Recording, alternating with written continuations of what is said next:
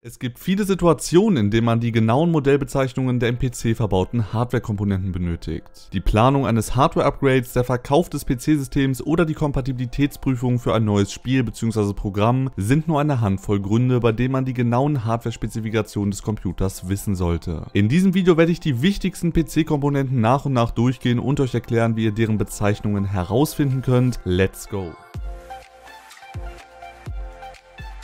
Da mich im User Support immer wieder die Frage erreicht, wie man die aktuell verwendeten Hardware-Bauteile ermitteln kann, habe ich mich dazu entschieden, einfach mal ein kurzes PC Basics Video zu diesem Thema zu erstellen. Am einfachsten ist es natürlich die Rechnung bzw. das Datenblatt des PC-Verkäufers herauszusuchen und die Bauteile damit festzustellen. Allerdings kann es gerade bei älteren PC-Systemen häufig der Fall sein, dass dieses Datenblatt nicht mehr vorhanden ist oder der PC nicht mehr auf der Homepage des Verkäufers gelistet wird. In den meisten Fällen gibt es mehrere Wege an die Bezeichnungen der Hardware-Bauteile zu kommen und manchmal manchmal gibt es auch keine andere Möglichkeit, als den PC aufzuschrauben und hereinzugucken. Gehen wir nun einmal die wichtigsten Komponenten nach und nach durch und starten direkt mit dem Herzstück des PCs, nämlich mit dem Prozessor bzw. mit der CPU. Hier erhaltet ihr die wichtigsten Informationen bereits über den Windows Task Manager, führt dazu einfach einen Rechtsklick auf der Taskleiste aus und wählt den Punkt Task Manager. Klickt nun auf den Reiter Leistung, dann auf CPU und schon findet ihr die Modellbezeichnung oben rechts eingeblendet. Für weitere Spezifikationen und technische Werte könnt ihr nun das Internet zu Hilfe heranziehen. Welcher Kühler auf eurem Prozessor montiert ist, lässt sich leider nicht so einfach herausfinden. Dafür müsst ihr einen Blick ins Gehäuseinnere werfen, wozu ihr das entsprechende Seitenteil eures Gehäuses abschrauben müsst, insofern es kein transparentes Glasseitenteil ist. Natürlich müsst ihr zuvor den Rechner herunterfahren und vom Strom trennen. Sollte der Lüfter bzw. Kühler mit Intel oder AMD beschriftet sein, so handelt es sich hierbei um den einfachen Boxkühler. Andernfalls müsst ihr anhand des Markenlogos und der Optik das genaue Modell im Internet recherchieren, da eine vollständige Modellbezeichnung in den seltenen seltensten Fällen auf dem Kühler abgedruckt ist. Ebenso wie bei der CPU lässt sich auch das Grafikkartenmodell ziemlich einfach über den Task Manager abrufen. Unter dem Reiter Leistung und dem Bereich GPU findet ihr die Bezeichnung erneut oben rechts. Um jetzt aber das konkrete Custom-Modell herauszufinden, also ob diese RX 570 zum Beispiel von Gigabyte, KFA2 oder Asus ist, müsst ihr erneut euren PC aufschrauben und anhand des Logos bzw. der Optik das entsprechende Custom-Modell recherchieren. Beim RAM bzw. Arbeitsspeicher möchte man in vielen Fällen einzig und allein die Gesamtkapazität herausfinden und auch das ist sehr einfach über den Windows Task Manager festzustellen. Des Weiteren wird auch hier die aktuelle Taktfrequenz und die Anzahl belegter Steckplätze angezeigt. Für weitere Informationen zum DDR-Typ, zu den Latenzen und ähnlichem könnte euch das kleine Tool CPU-Z weiterhelfen, über das ihr viele weitere technische Details zu eurem Arbeitsspeicher auslesen könnt. Wenn ihr den Hersteller, die Bauhöhe oder die vollständige Produktbezeichnung des RAMs herausfinden möchtet, was zum Beispiel bei der Erweiterung des Arbeitsspeichers wichtig ist, müsst ihr den PC erneut aufschrauben, einen RAM-Riegel ausbauen und die genaue Bezeichnung vom Aufkleber ablesen. Um euer Mainboard-Modell herauszufinden, könnt ihr ebenfalls das Programm CPU-Z verwenden. Unter dem Reiter Mainboard findet ihr alle wichtigen Informationen bezüglich des Herstellers, des Chipsatzes, des BIOS und natürlich auch die konkrete Verkaufsbezeichnung. Sämtliche Bezeichnungen zu Massenspeichermedien wie zum Beispiel SSDs und HDDs lassen sich ebenfalls problemlos über den Task Manager auslesen. Oben rechts findet ihr die Langbezeichnung des Speichers, nach der ihr im Internet recherchieren könnt und im unteren Bereich wird euch dann noch die Gesamtspeicherkapazität Kapazität angezeigt. Um euer verbautes Netzteilmodell herauszufinden, müsst ihr wieder einmal einen Blick in euer Gehäuse werfen, da ein Netzteil euer System lediglich mit Strom versorgt und keinerlei Daten überträgt. An der Seite des Netzteils müsste sich ein Aufkleber mit den wichtigsten Spezifikationen, dem Hersteller und der Modellbezeichnung befinden. Beim Feststellen des Gehäusemodells seid ihr voll und ganz auf das Internet angewiesen. Insofern sich kein Aufkleber mit vollständiger Bezeichnung am Gehäuse befindet, habt ihr keine andere Wahl, als nach dem Modell zu recherchieren. Meist dürfte sich wenigstens die Marke Marke des Gehäuses durch ein Logo erkennen lassen und zusammen mit ein, zwei optischen Details sollte sich euer Modell im Internet doch relativ schnell ausfindig machen. Ich hoffe, dass ich dir mit diesem Video weiterhelfen konnte und dass du nun die Bezeichnungen deiner Hardware-Bauteile herausfinden konntest. Solltest du dennoch Probleme mit der ein oder anderen Komponente haben, dann hinterlass doch gerne einen Kommentar und vergiss außerdem nicht diesem Video einen Daumen nach oben zu geben und ein kostenloses Abo zu hinterlassen. An der Stelle wünsche ich euch noch einen wunderbaren Tag, haut rein, macht's gut, bis zum nächsten Video, bis dahin, ciao ciao.